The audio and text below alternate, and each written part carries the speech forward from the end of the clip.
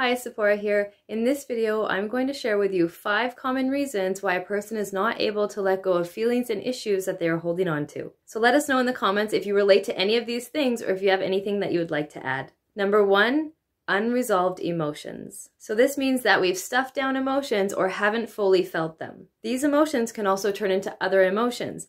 This means that sadness can turn into anger, or betrayal and abandonment can turn into crying outbursts. They can change over time. You might not be feeling these emotions at all times, but they could be the reason for underlying irritability or anxiety. They might actually be affecting you daily, or certain situations can be amplified because of them. You can think enough time has passed, or that you've let it go because you don't think about it every day. You feel like you've stopped caring, but this could also be you going numb to it. You might have become tough about it as a coping strategy, meaning I don't care, I'm fine. And on the other side of things, you might have become overly positive, toxically positive, even, meaning it's fine, people have had it worse than me, no worries. And this can also be a coping strategy. You can tell yourself it doesn't hurt anymore, but chances are your inner child or that past version of you does still hurt. So these emotions need to be recognized, felt, processed in order to let go. Number two, Feelings of injustice. Another big reason why people can't just let it go is because of the injustice that they've experienced or the betrayal that they've felt. And it can feel like it's not okay to let it go. Meaning, if I let this go, the other person gets away with it. You letting go and moving on does not take anything away from the other person's actions being wrong. But the experience is still affecting you emotionally, and you deserve to let it go. So just leave the other person out of it. So you can look at these feelings of injustice and realize that it was unjust. It's not okay, but you do not deserve to harbor these feelings of pain any longer. And that pain can turn into resentment or vengeance, and this can really affect you.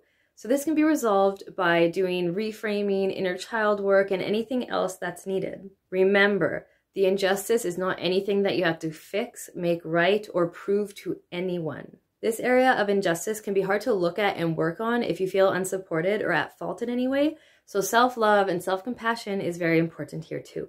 Three, wanting an apology or to understand. If you want an apology or to understand why the other person did this, it can also prevent you from being able to let go. So you need to understand and accept that you might not get a sincere apology. An apology with accountability can be helpful depending on the relationship that's been affected, but it's not going to fix everything. And sometimes the apology can even lead to more feelings of wanting to understand why someone could do this to me. So really, that apology is not the thing that makes or breaks your healing. In this apology section, I want to mention that forgiving yourself is what's most important. You do not have to forgive the abuse or the abuser. You have to forgive yourself and let go of any feelings that you have like you might be at fault, or those thoughts that you could have done better, or maybe you did this or that to deserve it. The only apology or forgiveness that you truly need in healing is that forgiveness of yourself. Number four, the adult self feels healed, but the inner child is still hurting. Something that I experienced a lot in my healing was that my adult version felt healed, like I understood everything, but I didn't know my inner child was hurting so much.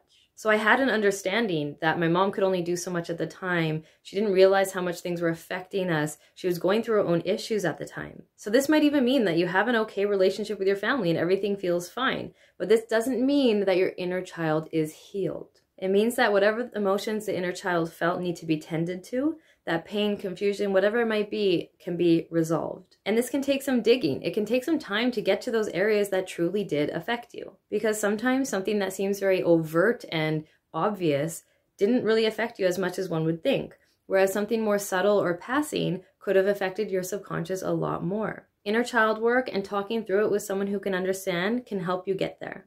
Five, feelings of shame. If something has happened to you and you feel shameful about it or that you're at fault in any way, it can affect your ability to let go. Maybe someone has convinced you that you have fault in it, or you've been gaslit into thinking that you brought it on yourself. Maybe you've convinced yourself that if I talk about this, I'm going to look weak, at fault, pathetic, or damaged. If abuse comes from parents, you can feel shameful because our relationship with our parents are supposed to be safe, secure, and understanding. When a parent abuses, neglects, or emotionally invalidates, it can give the child the message that they must be at fault, unworthy, or that they've done something to deserve this to happen to them. Which means now there's self blame, which can turn into a completely unknown subconscious message of shame. That subconscious message of shame inside can turn into outer blame, meaning the world's bad, people are bad, I can't trust anyone, there's no reason to let go of this because I need to protect myself.